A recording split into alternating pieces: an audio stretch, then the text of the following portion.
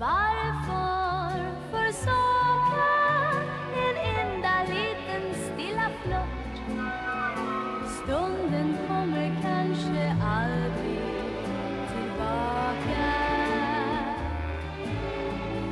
Varför försaka en enda liten hemlig kyss?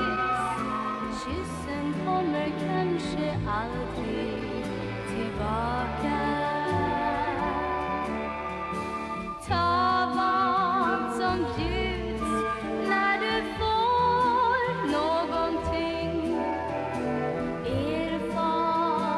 Yeah.